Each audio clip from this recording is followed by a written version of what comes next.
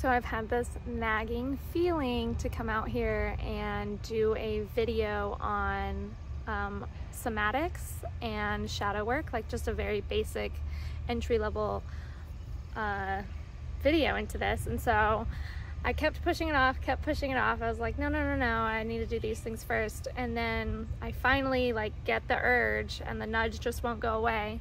So I'm like, okay, but it's so beautiful outside. I want to be outside. So I get all my stuff, I come outside, I find a nice spot. It's very quiet outside, the birds are going, the wind is going, you know, the trees are swaying, and I'm like getting in the zone. And then all of the garbage trucks for the neighborhood start to uh, do their thing. So I'm going to just sit here and meditate. And when they pass, I will get started on this video but I just thought it was really funny.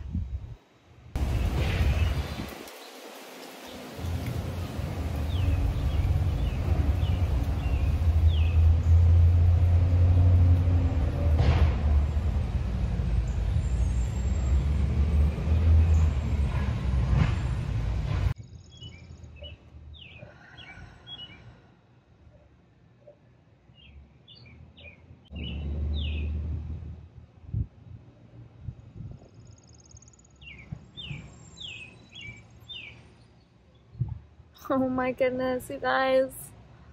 All three of them come at the same time, apparently. Oh. this is what I get for like pushing off the urge and the nudge when I first had it, you know, like several hours ago. All right, I'm just gonna go water my garden first and then I'll create this video. This is gonna happen.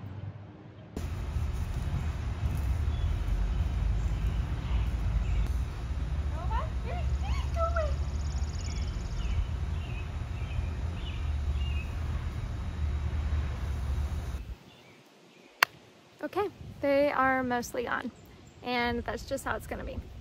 So, if you haven't already kicked your shoes off, if you're not in some nice comfy clothes, like if you're not driving, that's great. I just would like to invite you into this video, into this space with me by taking like three to five cleansing breaths. So this is in through the nose and really just like let it go out the mouth.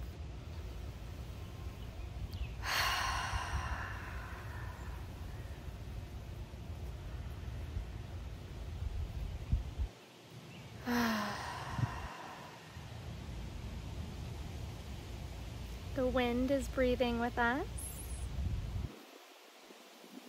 Mm, thank you. Okay, so I wanted to talk about shadow work. I don't know why I wanted to talk about it. I just know that it was on my heart and mind today and I'm gonna do it.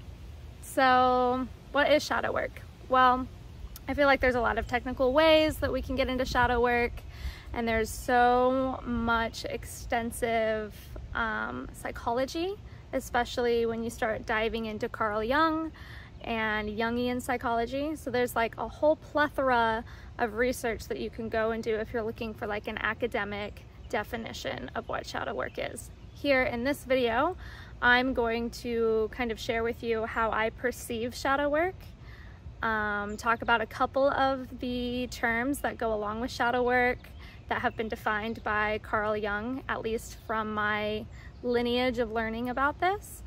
And then to dive into some practical, fun, somatic tips to beginning a journey of shadow work, if that makes sense. So shadow work is basically working with the unconscious, so the things that we're not aware of, which I get it. If we're not aware of it, how can we work on it? That's a conversation for another time. So it's the shadow is defined as loosely the unconscious mind, um, the subconscious, or the dark, repressed, hidden away aspects of our psyche. So when we think about spirituality, when we think about uh, growth and evolution and change and transformation, we're really thinking about coming into wholeness, coming into unity, into oneness, into, there's this term that gets used a lot, integration. So being in integration means that we're no longer fragmented and we're not acting from pieces or parts of ourselves, but we are acting so much as we are aware from our full, whole, healed, knowing selves rather than um, a triggered response, a freeze state, a fawn state, an unconscious state. Um, there's so many different like layers that we could go into there, but that's that's loosely what we mean by shadow when we're talking about shadow work.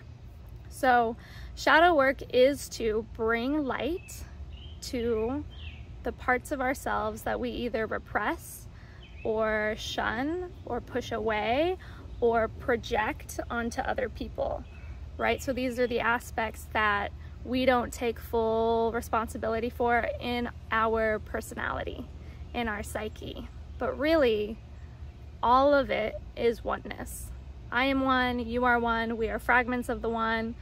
Ultimately, there's no difference, but since we are in a human experience, you know, we, we came here to experience different realities and different expressions, and so there's differences in this experience here on earth. And that's totally normal. So we're not trying to get out of that so much as we're just trying to bring awareness to that so that there can be more love and empathy and connection in the world. Is that all I want to say on that? Yes, so the shadow is really the parts of ourselves that we've repressed, projected, denied, shunned, or put away. And it is learning how to bring these aspects into the light of our awareness, up to the surface of our consciousness, where we can lovingly, compassionately, and with a lot of curiosity gaze upon it so that we can dissolve it back into wholeness, back into love, back into light. Um, so that is essentially shadow work. And I think with this type of work, um, it tends to get a lot of uh, no, I don't want to go that way. Um, yeah, let me just ground down here for a second.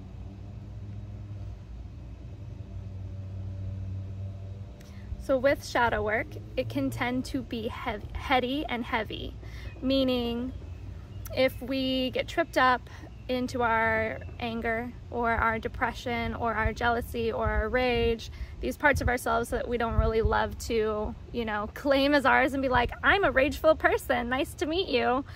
You know, like those are the things that like when if they get activated in our system without the proper foundation, we instead of dissolving them can actually amplify them and that is the last thing that we want to do with shadow work in the world is go out and amplify the unhealed repressed you know looking for love parts of ourselves into the world because we're going to do harm that way even if we aren't meaning to do harm that way um, so it tends to be very heady and logical and um, just very heavy. And so I like to bring a more somatic approach to it, partly because I'm a somatic practitioner. So it comes like very easily to me. Uh, there are loads of ways to do shadow work. So kind of play around and, and search around and see what resonates with you. But for me, coming into my body wasn't always the easiest and most one second. Hey babe, I'm on a video. Sorry. I'm gonna finish my video. I love you very much, but you give me all giddy inside and I can't focus. Go okay. I love you. love you very much. Love you most. Remember who you are. Okay, sorry about that, you guys. Um, somatic work. Where was I? I got all giddy. I saw the love of my life. Ah. That is shadow work. Did you see that? So I was like feeling all antsy and giddy inside and so I'm expressing it with my body um, just to get it out so that I'm not in that state of being anymore and I can come back to this moment, which was coming back into my body wasn't always fun. I didn't always love being in my physical body. It meant that I had to acknowledge some pain, some heartache, some grief, maybe even some fear, some terror. You know, there are things that I was feeling, but because I was allowing myself to live up here in like conceptual reality and kind of just being more focused on like the future and the past and where I'm going and where I've been and you know, like making sense of everything and the story. Oh my goodness, the story. You know, that's that's a safe place to be. But once I started coming down into my heart, which is just a little deeper in the body if we're thinking top down, even then it was a little nerve wracking because here at our heart center is where we feel truth. It's where we feel resonance. It's where we feel connection, not just to each other, but also um, to ourselves you know, into the earth. And it's where we come into our senses. It's where we take deeper breaths. Instead of breathing from here and here, now we're breathing from our chest, from our heart, from our lungs, from our ribs. And so we come down into physical reality just a little bit more. And here, there can be grief and pain and anger and resentment and judgments, maybe towards other people or towards ourselves.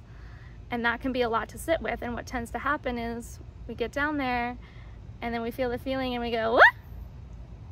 Ah, freeze, or we go, ah, run away, or hide, or we just become the feeling, you know. And some some things are good to become, you know, like joy and bliss, and you know. But if we were always joyous and blissful, it might be a little like psychopathic. I don't know. I'll leave that one to you guys. Um, so I like to bring shadow work down into the body. And this is the foundation for me personally. I think it's hard to do shadow work outside of the body because you're not really addressing the tissues and the foundation of the matter, which is what your body is holding on to regardless of the story. You can like rewrite a story all you want and you can chant your affirmations and you can sing your songs and you can dance and do all of that. But if you're not letting the body express the very real reality it's lived without any judgment and any story and without the need to change it, it's never going to shift. And this is shadow work to me. So it's coming into the body, locating where we may be feeling a sensation in the present moment, what that sensation is, if there's a feeling attached to it, um, and what it needs, whether it's just presence, breath, maybe it needs to shake, or to move or to cry or to scream and grunt and you know get loud and use your voice to move the breath and the body and the energy. So that to me is what it means to bring somatics into shadow work. Um, let's see. Where do we want to go next? I think it'd be really fun just to bring a little bit of experiential knowledge into this because I've just been like talking at you in this video, but I would really love to bring you back into your breath, um, back into your body. And this is a safe way to begin shadow work because if you can't stay in your body without flying away or dissociating or freezing or, you know, getting into a freeze state or a freeze response, uh, you're not ever really going to shift the thing. You're just going to keep traumatizing yourself or re-triggering yourself. And that's not the point. The point of shadow work isn't to like bulldoze your way into healing. It's a loving, gentle coming home so that you can come back into wholeness. And all that all that requires is for you to slow down the breath, drop into the body, and notice what you notice. So we're just gonna do that for like two minutes here. It's not gonna be a huge practice. So if you want to close your eyes, if you're in a safe space to close your eyes, or if you just wanna take a soft gaze, maybe you can look at the little mailbox for the bird here. Mailbox like they get mail. You know, the bird feeder where they eat food, Kayla. They don't check their mail. Bird box. You could even stare at this bird box if you wanted. I'm going to close my eyes. So just at the start of the video, like we did some cleansing breaths in through the nose. Exhale, sigh it out the mouth. Really bring the navel to the spine. Sit in the emptiness of your breath. Widen your nostrils, breathe in through the nose slowly. Exhale, empty the lungs, the belly. One more time, slowly sipping in air through the nose, letting the belly widen and expand.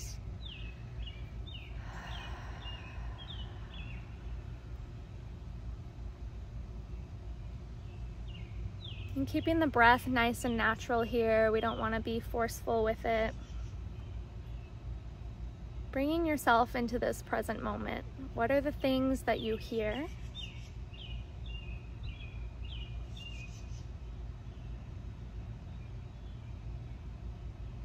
And don't name the things so much as just feel the sensation of hearing the birds, of hearing my voice vibrate your eardrum. You know, what is that feeling like in the body? How does hearing become a sensation in the body? If the eyes are open gently without losing focus, noticing what you see, colors, shapes. If the eyes are closed, maybe there's different shades and colors in your mind's eye.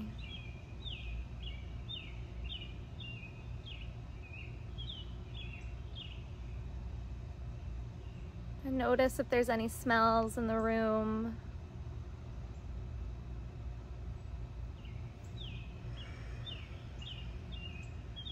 Notice if there's a taste on the tongue or in the mouth or on the breath.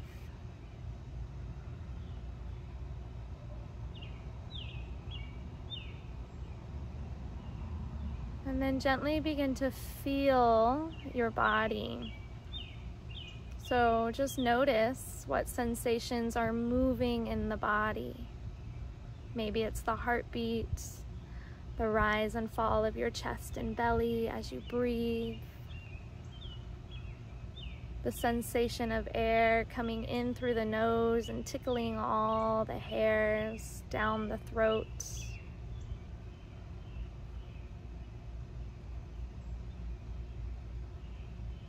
Maybe there's a buzzing sensation or a tingling, maybe some heat.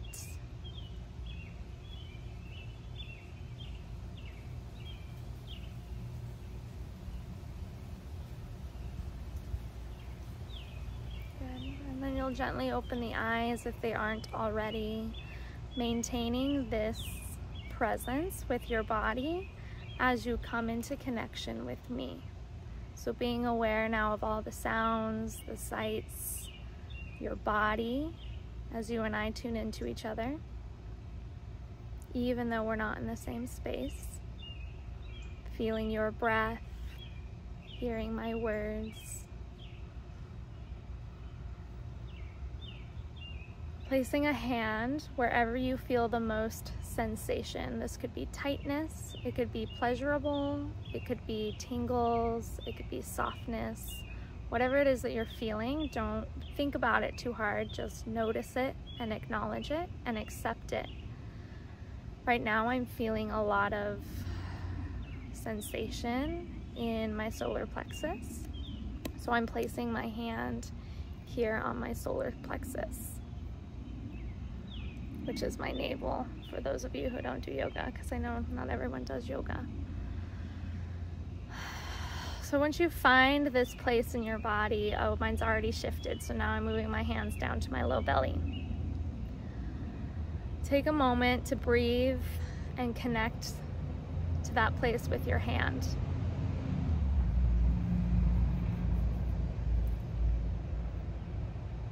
As if you could breathe through your hand into the place that you're touching. Really connect with this place.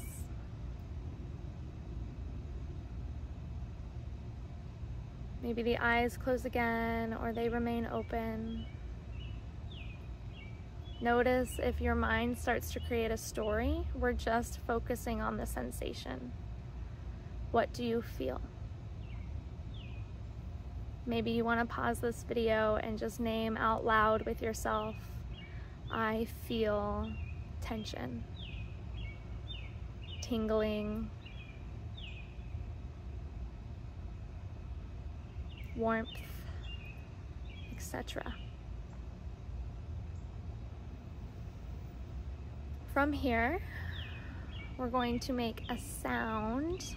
So close the eyes if you can, or take a soft gaze, keeping the hand where you feel the sensation.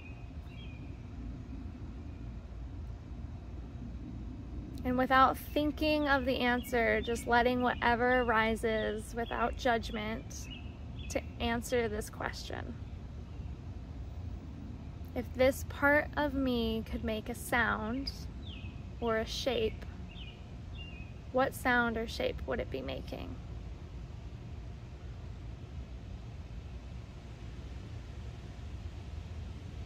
Maybe it's very clear to you. Maybe you're like, I don't know, but it's in there. What we're gonna do is take a breath and then on the exhale, you're just gonna let it go. And you're just gonna make a sound and you're just gonna let it rise up out of you.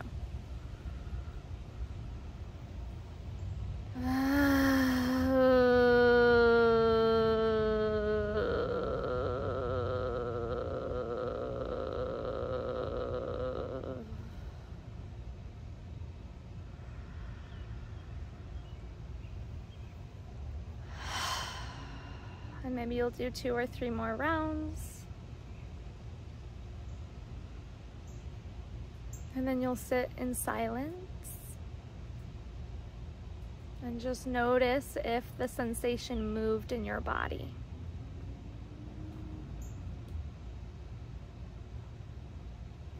Maybe it's still in the same place and you have a lot that's there. Maybe you've unlocked some tears or some rage and you need to go sound out a little bit more. But I invite you to gently remove your hand if you haven't already, come back into this space.